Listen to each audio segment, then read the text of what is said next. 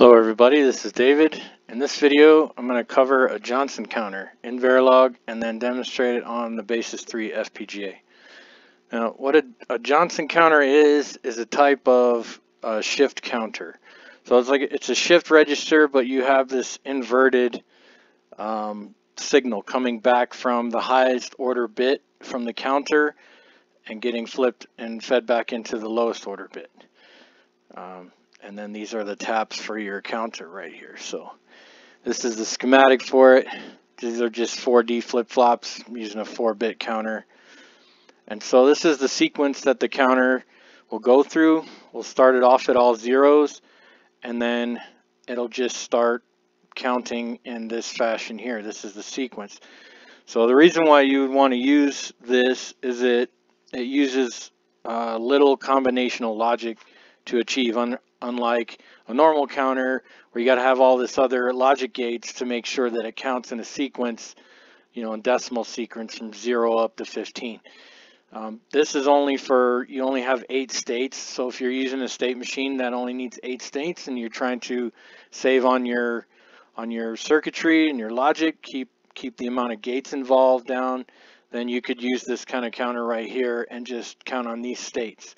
Um, and but what you got to watch out for is you have unused states over here. So these are all the decimal numbers that could cover um, that are not in your sequence. And so you have to ensure that you put some code in there and then I'll show you some logic in there so that when these states ever happen, such as um, you get a glitch in your system or, or some kind of signal that, that flips one of your flip-flops, then you end up in a state that you, an unknown state, and you won't be able to recover and count back to these states. It may not ever recover. So let me show you the code. Okay, here I am in Vivado. Uh, created a project for the Basys 3 target language Verilog. You can see the module hierarchy over here and I'll go through each one. Here's the Johnson counter. So it just takes in a clock and a reset, just like the schematic we saw, and then it has the four bits of count, which are each of the D flip-flops. And so for reset, we want to set count back to zero. And then, so this, all this code right here is to recover from if we have a glitch in our system and we ended up in one of these unknown states that's not part of our Johnson counter sequence, we can set the count back to zero and get back to our sequence.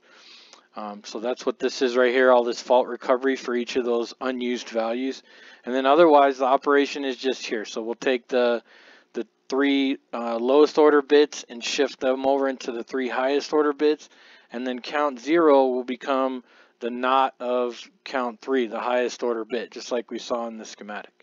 So to demonstrate this on the FPGA, I created a one hertz generator so we can slowly see it counting through its sequence.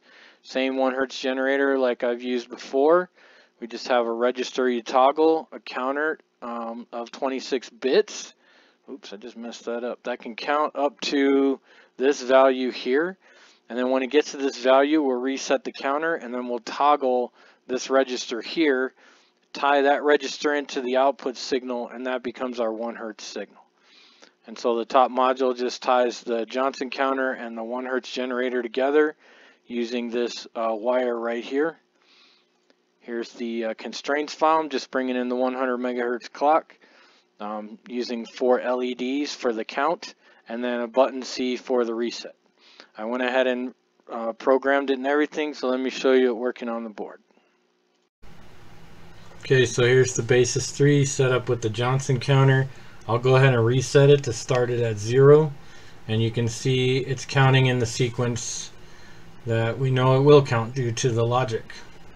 So it starts at zero and then essentially you just see the bits shift over and uh, yeah that's it. There you go. There's a Johnson counter in Verilog on the Basys 3 FPGA thanks for watching